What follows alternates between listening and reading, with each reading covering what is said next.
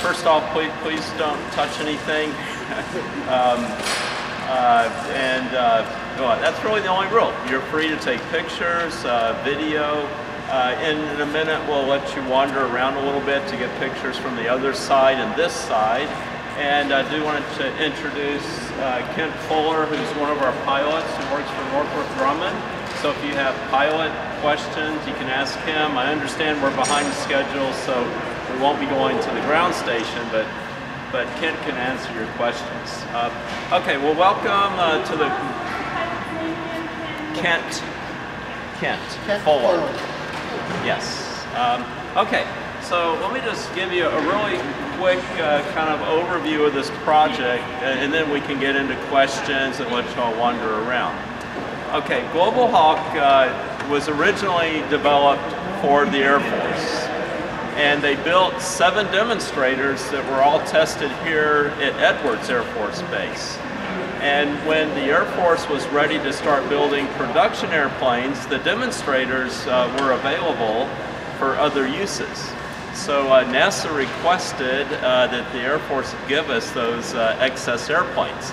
And what you see here are two of those demonstrators. Um, the one closest to us here is the sixth airplane that was ever built, and the one behind it is the very first Global Hawk ever built. First one to fly, and it flew in 1998, um, so we got these two airplanes about five years ago, and the reason why NASA has these, as you heard from Eric earlier, is to fly science missions. Uh, when you look at this airplane, obviously no pilot on board, so we can fly this airplane a very long time. It, it's flown, actually at this point, 29 hours in one flight, and we think it can go a little bit further. And when you think about that kind of amount of time flying, from here at Edwards, we could fly to New York, come back, go to New York again, and come back all in one tank of fuel. So this aircraft will go about 11,000 nautical miles on one tank. And so from here at Edwards, we've done things like fly up to the North Pole three times to take data. Uh, we've flown from here to the Atlantic Ocean and, and we've flown over hurricanes um, and gotten data. And, and, I just said over hurricanes. You know, when you see uh, on, on the news uh, pictures of um, NOAA pilots flying to hurricanes, they're in the hurricane because they're down at lower altitudes in those airplanes. This airplane flies up to 65,000 feet. So we're up over the hurricane. We're looking down. With our instruments, we can see all the way through the hurricane down to the ocean. So we're essentially doing a CAT scan of a hurricane. Um, last, uh, last summer, we tried out a brand new ground station at uh, Wallops Airfield facility in uh, Virginia, and we flew uh, eight missions from there over hurricanes. Uh, so now that we can also fly from Virginia as well as California, we can be closer to weather phenomena in the eastern area. Um, okay, I mentioned uh, our pilot Kent Fuller works for Northrop Grumman. Uh, one very important aspect of this project is that we have a partnership between NASA and Northrop Grumman with these airplanes. And uh, also we have another Northrop pilot, Steve Sipprell, who's just joined us. So when I, when I get done talking, you're welcome to talk to, to both of them.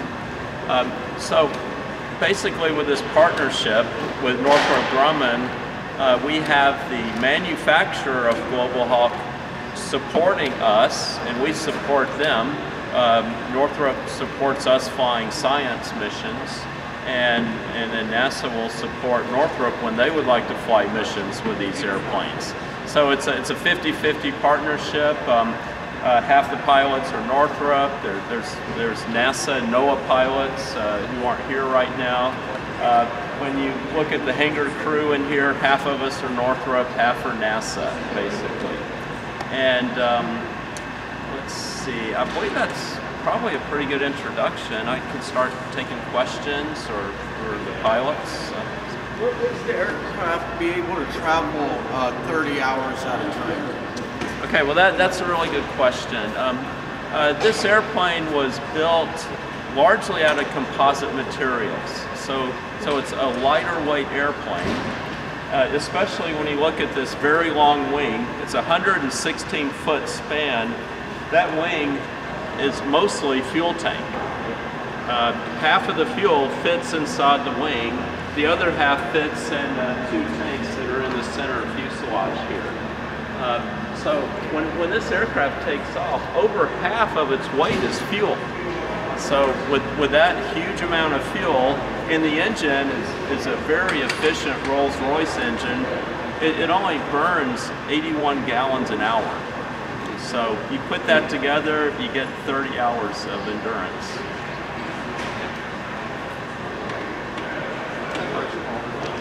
Uh, what kind of emergency procedures are different uh, on a plane like this versus a plane we would fly in?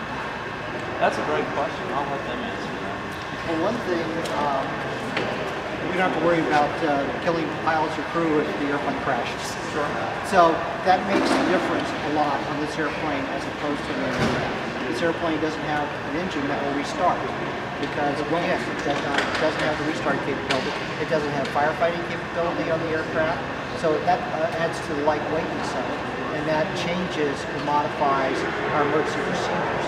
Also, operating in the National Airspace System, we have different operating rules, so that changes how we operate in regard to emergency procedures. We can't just put it down anywhere. We have to go back to a field that we normally operate out of, or we have to find a place where we can uh, crash it essentially, terminate the flight. Sure. Can you uh, broadcast a radio signal from this aircraft to a, a field somewhere? Absolutely. On their channel? Absolutely. We talk to uh, air traffic control uh, basically by communicating to the airplane and then having the signal go from the airplane out to broadcast ATC in that region. Uh, thank you. It's just like a manned aircraft. As Yeah. far as us sitting in the aircraft, when we're on the ground, we're talking just to ATC, Just just switching dial in. sectors. We just switch frequencies every time we get the next sector and uh, just talk to them. And it's the same thing if you're coming to the control field like this. Okay, so let, let me just make a few more comments now that those questions have come up. Um, a little bit more about how we operate the airplane. We, we have a ground station in another building, and we have a pilot, co-pilot, uh, a couple of other mission support people, and obviously with these long missions we have multiple shifts. So um, we'll typically fly three different sets of, of pilots during a mission. And those pilots are talking to the airplane through satellite links most of the time. When we're flying here locally, we have a direct line of sight UHF radio that we can talk to to command and control the airplane. When we're out beyond line of sight, we're using Iridium links, Inmarsat links. These are all satellite uh, constellations. So all the all the commands to the airplane are going from satellite to the airplane and then coming back. And then there was a question about A- ATC related. We also have a voice radio on the airplane. The pilots talk through the satellite to the airplane, and the airplane transmits their voice to ATC. A lot of times, the air traffic controllers don't even realize we're, we're an unmanned airplane because they're hearing the pilot's voice coming from the airplane and, and back. Um, and then, one other note this aircraft is autonomous. And what that means is there's a mission plan put in the computer and in theory, the, the aircraft would fly the entire mission without much input. That's not practical in real life because there's other traffic and we have to maneuver the airplane around.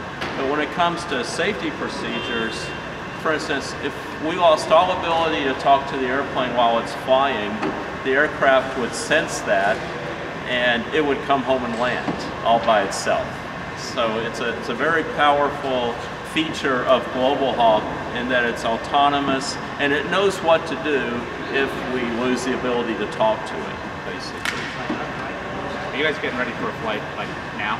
Um, we, um, we had hoped to fly today, but you probably noticed it's Just raining. removing all the remove for flight tags, so. Uh, well, we're, we're about to do some tests. Okay. Yeah, we're not going to start up the engine or anything. Um, so uh, we were going to fly today, but this aircraft does not have anti-icing on it or, or you know, ice removal. So uh, colder up there in the clouds, icing conditions, so we could not fly today. So we'll be flying early next week. What's the maintenance load on uh, on one of the uh, on one of the aircraft when it comes back from a mission? How much work has to be done on prep and get it ready to go the next time? Usually very little. Um, the systems on Global Hawk are very typical aircraft systems. Uh, we'll do a post-flight, check all the systems out, but some, sometimes we do virtually nothing. Uh, you know, other times we, we may see an issue uh, that we have to repair, but it's very typical to a, a normal airplane. Most of the uh, maintenance during science missions is for the care and feeding of the instruments. That's why you see a lot of work. That, that, that's really what you see now. Yeah, thank, thank you, Kent. Um, th- th- this aircraft, uh, I'm sure uh, Eric told you, has 12 instruments on board, and you see these uh, these displays describing some of these. Uh, most of these instruments require some sort of work before a mission and then afterwards. Um, uh, so let me hit hit on that a little bit. Uh, you see this uh, this big top area here. This is all a radome, and it's actually fairly empty in here, uh, except for a big 48-inch satellite dish. And that dish we use to beam all the payload data to a satellite and then back down to here. So real time, we're getting all of the data from these instruments uh, during a mission. Is there a video the pilot can see? We have a limited, there's a HS visit, uh, visibility. HD excuse me, uh, underneath the aircraft, which allows us to kind of see. And then uh, sometimes in some missions, we'll actually put a, uh, a nose camera in there. But typically, you know, we don't operate necessarily because uh, we have a, air, a truck that follows on the ground, which is our trapper truck, and they just follow, just keep our eyes on the ground. But once we're airborne, you know, we're pretty much, uh, as, as uh, Chris said, we're autonomous as well as also we have our moving map displays and everything and our navigation, just like a normal aircraft would. File IFR flight plans? Yes. Yep. It's kind of a modified flight plan because anytime we're operating in the National Airspace System, we work under a COA with the FAA, which is a Certificate of Waiver and Authorization. So it's a, it's a specific route for a specific mission, and so we don't really uh, deviate from that, particularly over land. Out over the ocean, we have a little bit more flexibility. The squawk code? Yes, we do. Whatever ATC tells us to squawk, we squawk. And uh, one of the great things about this airplane, we, we can get up to 50,000 feet within about 40 minutes, and we do that here within the restricted airspace. So when we're going out to the NAS, we're already pretty much above what they care about.